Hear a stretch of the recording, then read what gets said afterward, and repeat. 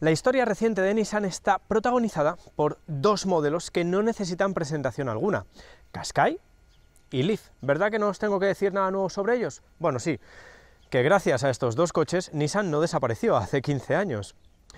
Pero ahora el presente futuro o el futuro presente de la firma de Yokohama está protagonizado por un modelo que podríamos catalogar como el heredero de ambas corrientes. ¿Y a quién me refiero? A este Nissan Arilla que tengo aquí a mi lado y que hoy en Autocasión os vamos a probar en profundidad. Un modelo que abre o que pone la primera piedra para la nueva estrategia eléctrica de la firma japonesa. En este caso, Nissan no es pionera al proponernos un crossover 100% cero emisiones, pero sí es el primer modelo de este tipo que la firma de Yokohama ha desarrollado cogiendo todo el know-how del Qashqai y del Leaf.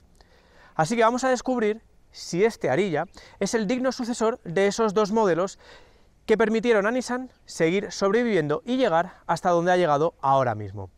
Así que ya, sin más dilación, comenzamos.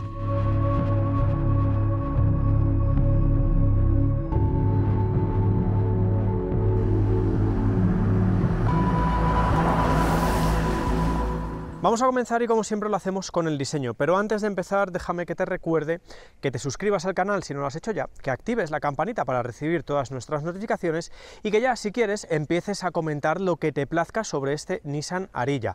Lo del like lo vamos a dejar para dentro de un ratito.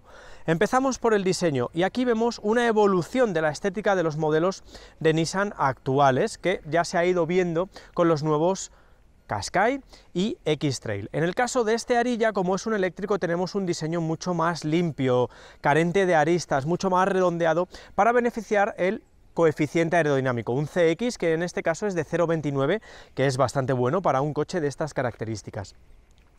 Muy bien, ¿y cómo se sitúa este vehículo dentro de la gama Nissan? Bueno, pues estaría entre medias de un Qashqai y de un X-Trail. ¿Por qué? Pues porque tenemos un coche que mide 4,60 metros de largo, lo cual son 18 centímetros más que un Qashqai, con una anchura de 1,88 y una altura de 1,66 metros. Está más próximo a un X-Trail que a un Qashqai, pero estaría ahí entre los dos. Eso sí, es un segmento C con reminiscencias un poquito de segmento ya D. En lo que a elementos se refiere destacados de este diseño del nuevo arillo, ah, bueno, pues tenemos una evolución de la parrilla V-Motion, que en este caso tiene una calandra lógicamente completamente carenada, y con un tramado pues eh, específico para darle un toque un poquito más japonés. Tenemos además el nuevo logo de Nissan, que se estrena en este coche, y unos grupos ópticos que también han evolucionado con una luz diurna en forma de una pseudo boomerang, con los principales, con tecnología completamente LED para todas las funciones y con intermitencia dinámica en los grupos diurnos. Tenemos además una combinación de colores muy llamativa, como es la que estáis viendo, que no tiene coste alguno en este acabado, es el intermedio, con el techo bicolor en negro y con esta carrocería en bronce que la verdad es que le queda que ni pintado. ¿Más elementos de diseño de este vehículo? Bueno, pues tenemos unas llantas que son de 18 pulgadas de serie, pero que puedes equipar de 20 por unos 3.000 euros aproximadamente, pero que vienen dentro de un pack, como ya veréis, además con un interior en cuero, la verdad es que muy, pero que muy llamativo. Llantas además pseudo carenadas que, bueno, pues eh, permiten esa incidencia, mejorar esa incidencia del aire. Tenemos además los típicos detalles de crossover, como son estos pasos de rueda lacados en negro, y aquí delante tendríamos la toma de carga para conectar nuestro vehículo a la red.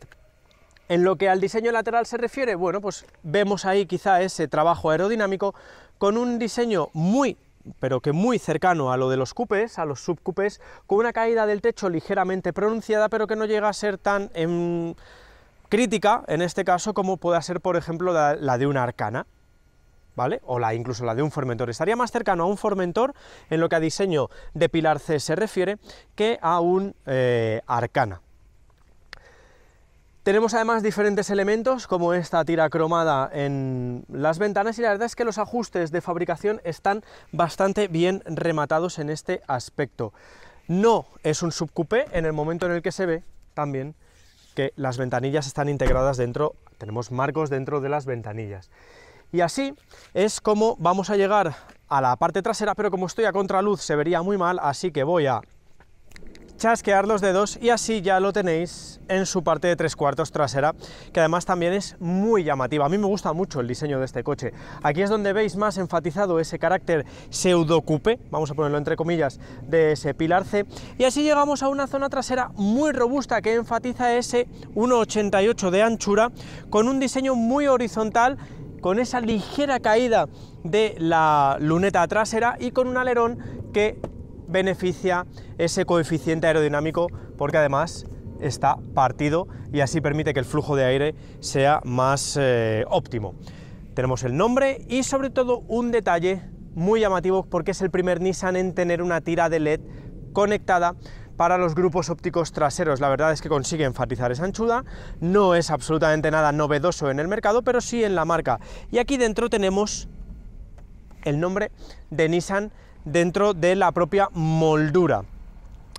Por cierto, no os he dicho antes que la iluminación, en este caso, aparte de ser LED, como si os he dicho, tenemos iluminación matricial LED para los pilotos delanteros, lo cual mejora el campo de visión, sobre todo de noche.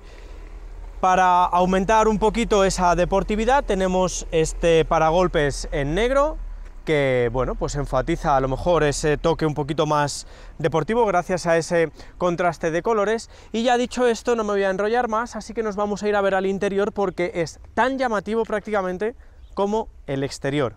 Así que, vamos a ello.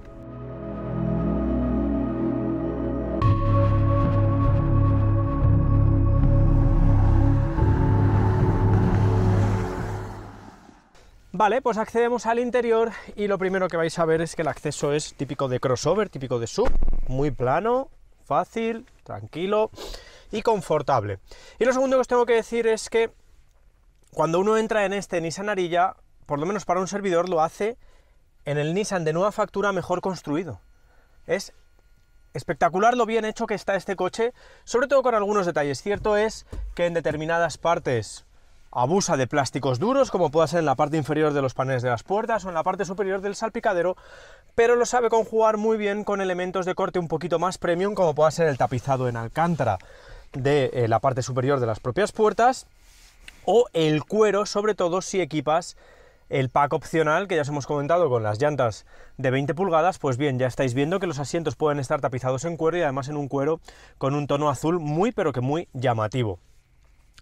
¿Por qué os digo esto? Bueno, pues porque también los diseñadores lo que han querido es trasladar el confort y la calidez de un ambiente japonés, de un ambiente hogareño japonés, al coche. Y eso lo hacen con elementos también de toque más premium, como puedan ser estas comandos táctiles ápticos incrustados dentro de la propia moldura que tiene un símil de madera. Es plástico, no es madera, porque si no el precio del coche subiría muchísimo más, pero ya lo estáis viendo en el climatizador y sobre todo también en la consola central. No hay botones físicos, a excepción de los warning, ni el del volumen, ni el del arranque del vehículo, sino que el resto de comandos está integrado dentro de la propia moldura y a mí eso me parece un detalle muy bueno y sobre todo que le da un empaque premium al coche, la verdad es que muy elevado. Antes de entrar en la digitalización, deciros que pese a tener estos comandos ápticos táctiles, sobre todo para el climatizador, luego vas a tener que estar manejando el resto de las funciones del propio clima a través de la pantalla. Y ahí me permite hablar ya de las pantallas. Tenemos dos pantallas de 12,3 pulgadas de serie bajo un mismo marco, ya empieza a ser tendencia esto en el mercado, que tenemos un cuadro de instrumentos pues de ese tamaño con eh, los mismos grafismos que los que tiene ya el Qashqai. La verdad es que son fáciles de manejar, tenemos a través del volante la posibilidad de ir cambiando y no tenemos un demasiados menús, o sea, los vamos a ver siempre a la primera y van a ser muy fáciles de manejar. Por encima del cuadro de instrumentos tenemos un head-up display proyectado en el parabrisas, otro toque premium con un montón de información y ya nos vamos a la pantalla central de 12,3 pulgadas con el nuevo sistema multimedia integrado que también estrenó el Qashqai y que está presente en el X-Trail, que es mucho más rápido e intuitivo que el que era anteriormente, el que tenía anteriormente Nissan. La peculiaridad es que dentro de este arilla tenemos funciones exclusivas del vehículo eléctrico eléctrico? Lógicamente, como pueda ser el consumo de energía, la distancia estimada con la autonomía que tenemos, las estaciones de carga que tenemos más próximas, o la posibilidad de temporizar o de programar la carga y el climatizador para ser más eficientes. También tenemos la posibilidad de conectarlo con Apple CarPlay y, como os digo, de tener el climatizador completamente integrado. De hecho, en este además, en este acabado, tenemos el volante y los asientos calefactables, lo cual está también muy pero que muy bien.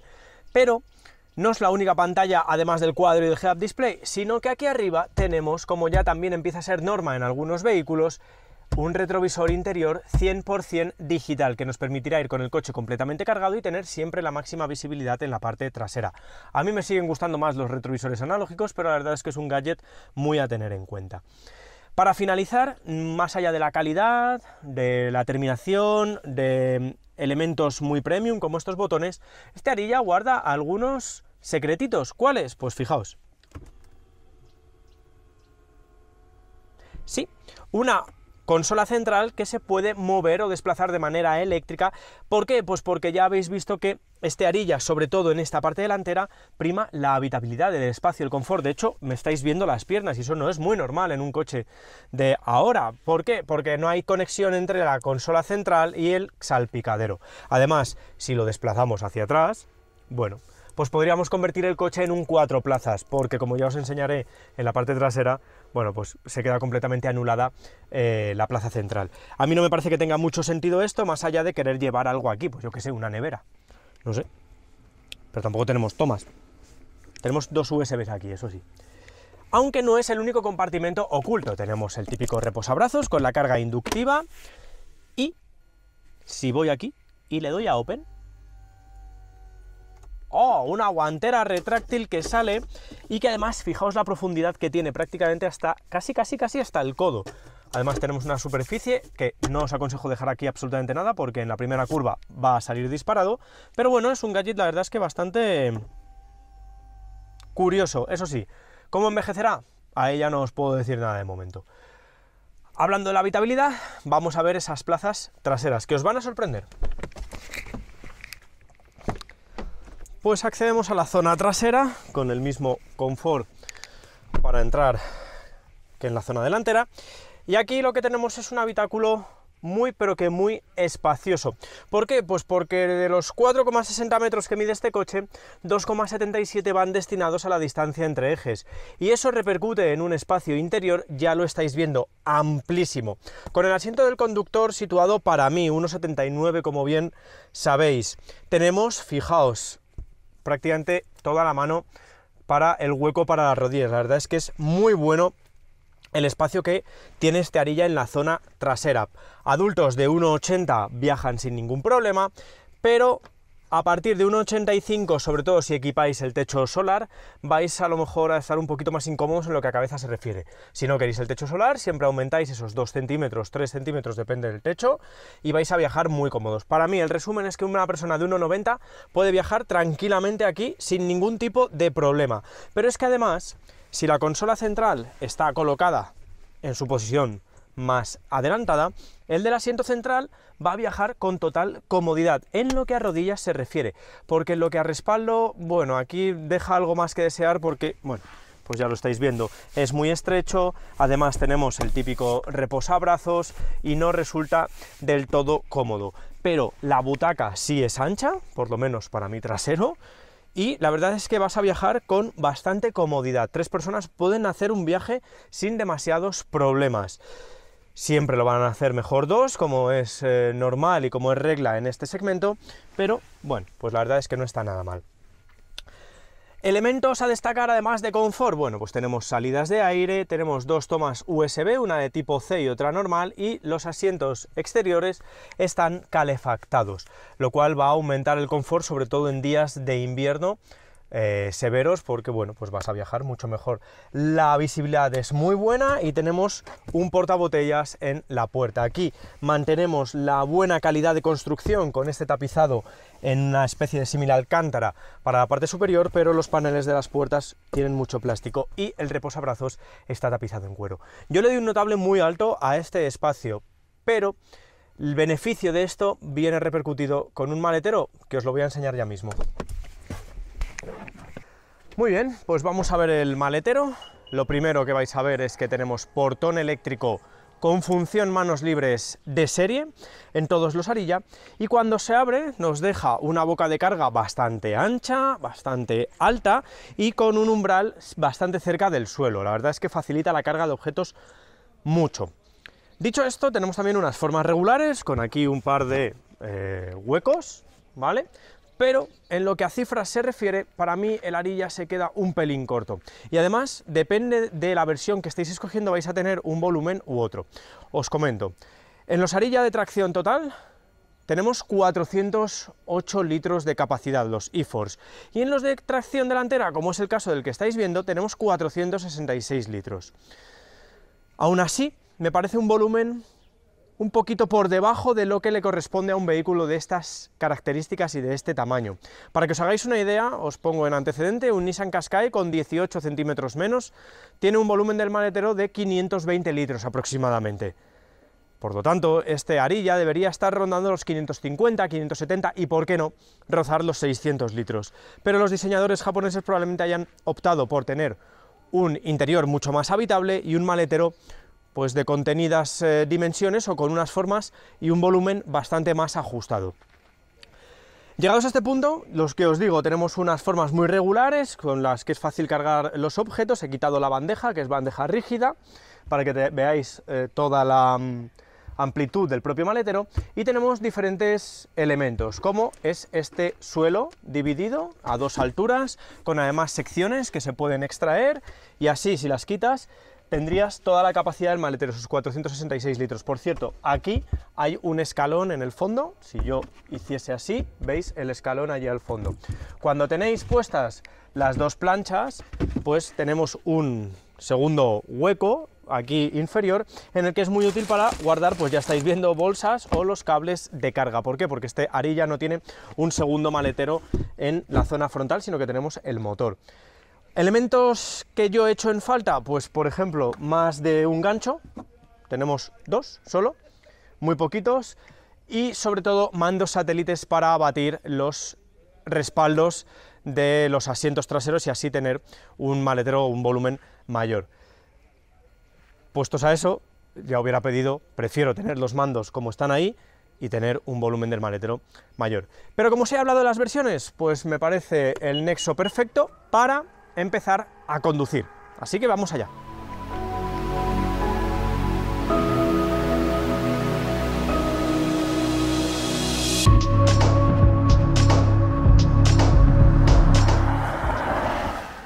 En marcha tenemos un coche muy confortable, la verdad. No llega a tener un tacto deportivo ni llega al nivel de una berlina de representación, pero la verdad es que la Arilla es un coche muy agradable para viajar. Tenemos unas suspensiones bien taradas, ni demasiado secas, ni demasiado blandas, pero no tenemos un comportamiento que digas es el de un todo camino hecho para circular por una carretera sinuosa. Aunque no se comporta mal porque tiene una muy buena estabilidad, tiene el centro de gravedad bastante bajo, pero eso sí, es un coche muy pesado, pesa 2,2 toneladas y eso incide negativamente cuando tienes que realizar un cambio de apoyo bastante pronunciado o haces unas enlazadas de curvas muy consecutivas. Pero como muchos eléctricos, a no ser que sea uno de alto rendimiento, la principal finalidad de este coche no es la de ser un vehículo deportivo, sino la de ser un coche respetuoso que nos lleve del punto A al punto B. Y eso lo hace con buena nota. Ahora bien, tienes que saber elegir bien la versión de la arilla que mejor se adecue a tu día a día o a tu conducción eh, general. Me refiero con esto a que el Nissan Ariya va a estar disponible, y hablo en un futuro próximo, con cinco versiones. Ahora mismo hay únicamente tres. Cinco versiones cuyas potencias van de los 218 caballos a los 394. Ahora mismo estarían comercializándose las tres primeras, 218, 242, ambas con tracción delantera, y una de 304 caballos, 306 em, caballos con tracción e-Force. tracción total con dos motores y un sistema que esperamos también probar dentro de poco para vosotros. Nosotros para esta prueba hemos optado por la versión de acceso, es decir, la de 218 caballos. Es una potencia que ya a nivel mental nos daría más que suficiente para circular en el día a día, pero que teniendo en cuenta este tamaño y sobre todo ese peso que os digo de 2,2 toneladas, pues quizás se queda un pelín corta. Pero es que hemos optado por ella porque eh, es la única que se asocia con la batería de acceso de 63 kWh de capacidad neta.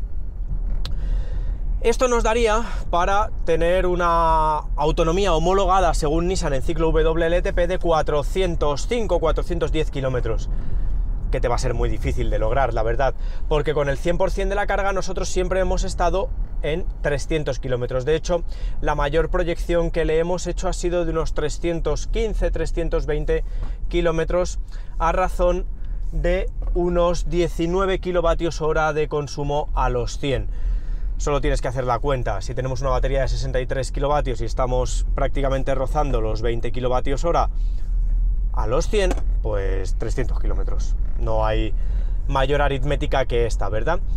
Quizá la versión más razonable, pero ya incrementa un poquito el precio, sobre todo si quieres estar despreocupado en lo que a autonomía se refiere, sea la siguiente, la de 248 caballos con batería de 87 kilovatios hora de capacidad, que te va a permitir ya estar rondando en conducción real los 400 kilómetros aproximadamente, 420, aunque homologa, ojo, 525 kilómetros.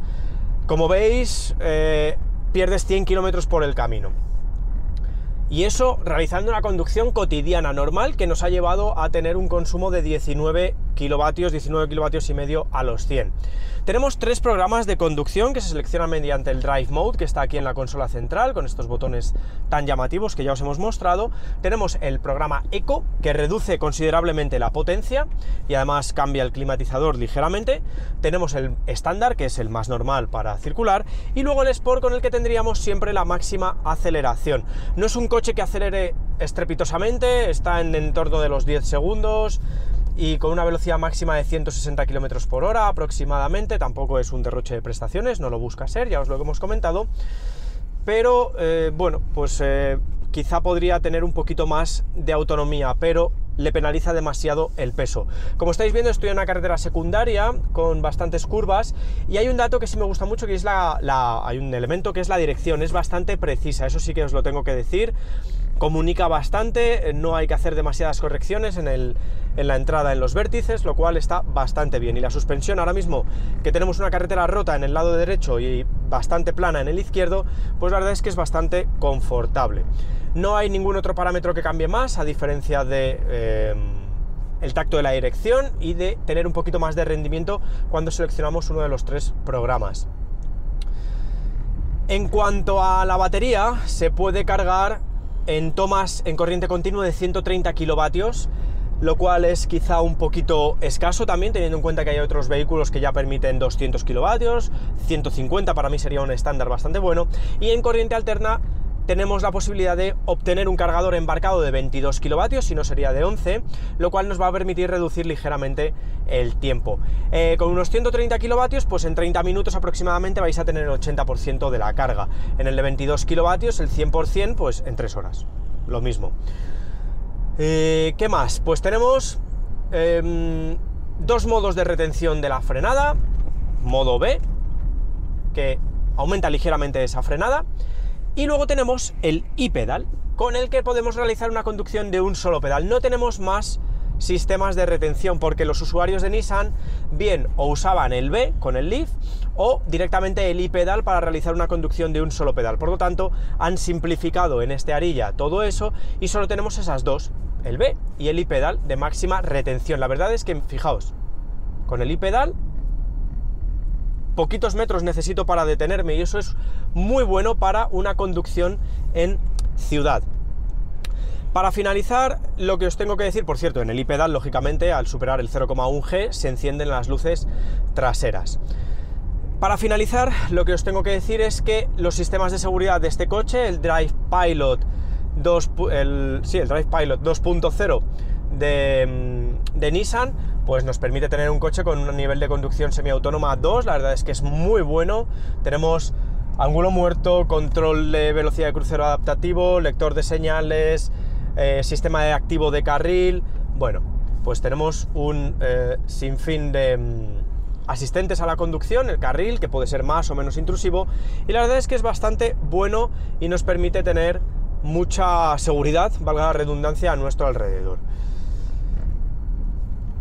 Y ya está, me quedo con eso, más allá del retrovisor interior digital, que yo ya sabéis que opto más por uno analógico, como ya os he comentado, voy a quitar el pedal eh, en el interior, pero la verdad es que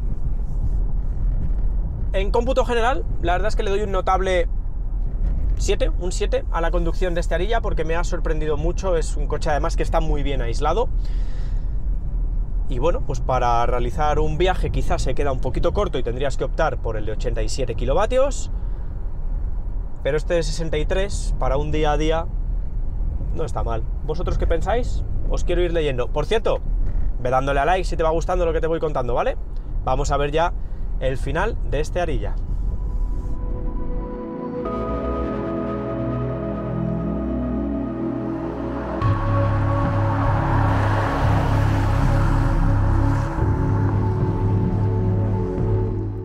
Está claro que la unión hace la fuerza y que Nissan haya combinado sus dos mejores conceptos dentro de un propio vehículo, como son el de los crossover compactos y el de la electrificación, solo podría reportarle éxito a nivel comercial a la firma japonesa.